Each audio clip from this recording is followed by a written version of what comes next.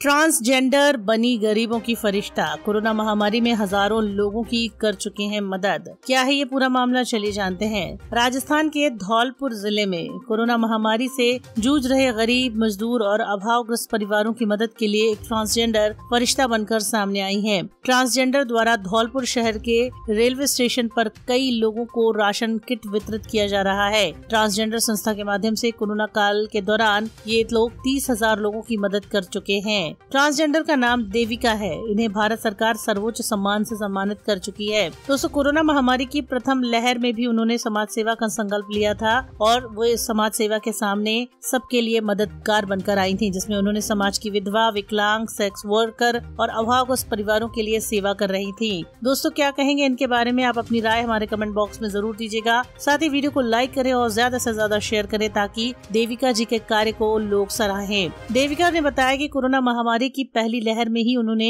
सामाजिक सेवा का संकल्प लिया था। महामारी के दौर में सबसे अधिक असर गरीब मजदूर परिवारों पर पड़ा था। ऐसे में उनकी मदद के लिए आगे आई थी और उन्होंने मदद की थी और आज भी ये मदद कर रही है। धौलपुर भरतपुर, करैली, मुरैना, आगरा, मथुरा, सैया में तीस हज़ार से लोगों को, ज़्यादा लोगों को मदद कर चुकी है। खाने के पैकेट्स वितरित कर चुकी है और उसमें ये राशन किट में दस किलो आटा, पाँच किलो चावल, एक किलो तेल, दो किलो दाल, मसाले, साबुन, विटामिन की गोलियाँ दवाइयाँ सैनिटाइजर और मास्क भी वितरित कर रहे हैं। उन्होंने बताया कि समाज उन्हें उपेक्षा की दृष्टि से देखते हैं और यही सब उन्हें अच्छा काम करने की प्रेरणा देता है। चौदह साल पहले उन्हें घर से निकाला था, लेकिन अब उन्होंने हिम्मत और साहस के साथ लोगों की मदद करने का जो बीड़ा उठाया, उससे उन्हें अच्छा भी लगता है और उन्हें देश में भागीदारी करने का मौका मिलता है। क्या कहेंगे इस पर आप अपनी राय ज़रूर दें।